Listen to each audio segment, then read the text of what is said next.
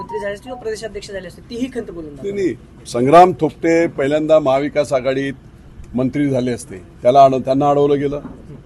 नंतर प्रदेशाध्यक्षाचं मला माहीत नाही. पण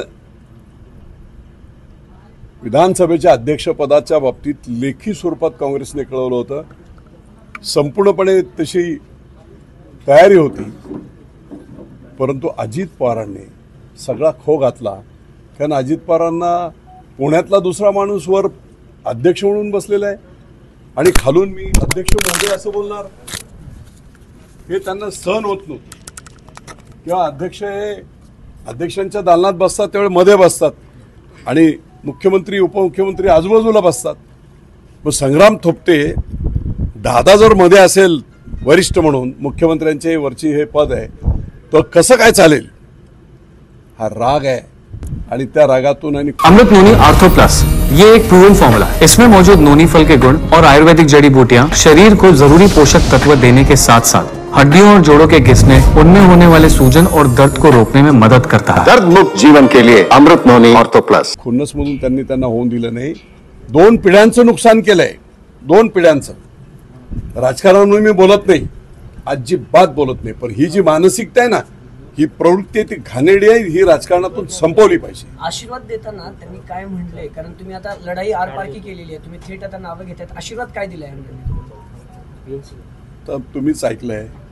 मी कसा पडलो काय? त्यांना आजही एकदम बुद्धीने एकदम शार्प आहेत ते. आता वय त्र्याण्णव असल्यामुळे मुवमेंटला अडचण जरी असेल तरी बुद्धी तेवढीच शार्प आहे.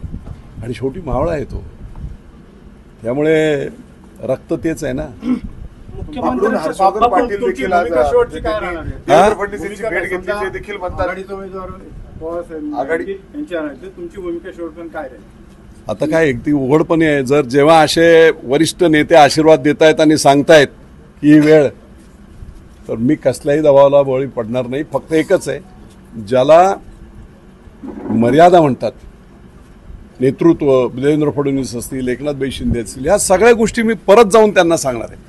लोकांची भावना काय ते सांगणार आहे. उगाच कुठेतरी एका कोणाला थांबवण्यासाठी किंवा मारण्यासाठी दुसरा ब्रह्मराक्षस तयार करणे हे महाराष्ट्राच्या हिताचं नाही आहे बापू हर्षवर्धन पाटील देखील आज मुंबईत देवेंद्रजीची भेट घेतली. त्यांनी ही सगळी खंत सांगितली. जसं तुमच्यावर अन्याय झाला की मोना दादागिरीची भाषा बोलली जाते. स्टेजवरून थेट मारण्याची. त्यांना तर पत्र देखील आलेलं हो. होतं असं आणि त्यांनी सांगितलंय की आता कुठेतरी म्हणजे आघाडी आमच्या सगळ्यांची साथ पाहिजे. म्हणजे एक सगळ्यांचा विचार तसा पाहिजे.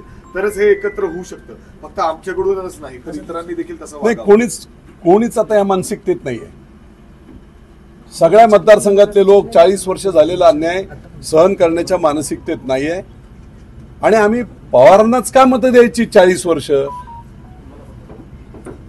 बारामतीत सुद्धा तावरे आहेत जाचक आहेत का दुसरं कोण नाही काय बारामतीमध्ये? मी स्वतः पवार साहेब नाहीतर पुतण्या नाहीतर मग मुलगी नाहीतर आता अजितदादांची सौभाग्यवती. जर दुसऱ्याला कोणाला उमेदवारी दिली तर काम कराल का त्याचं? एक लक्षात घ्या आम्ही पूर्णपणे पवार कुटुंबियांच्या घराणेशाहीच्या विरोधात आहोत. मु आदरणीय पंतप्रधानांनी देशात सांगितलेले की लोकशाहीला सगळ्यात मोठा पुढचा धोका आहे तो ही डायनेस्टी आणि घराणेशाही. ही घराणेशाही मोडली आणि चांगल्या पद्धतीने सर्वांना वेगवेगळ्या पद्धतीने काम करण्याची संधी राज मिळाली तर देश पुढे जाईल. आणि म्हणून आम्ही त्यांच्या पूर्णपणे घराणेशाहीच्या विरोधात थँक्यू बापू, असं जर झालं तुम्ही कसं नाही, कसं झालं?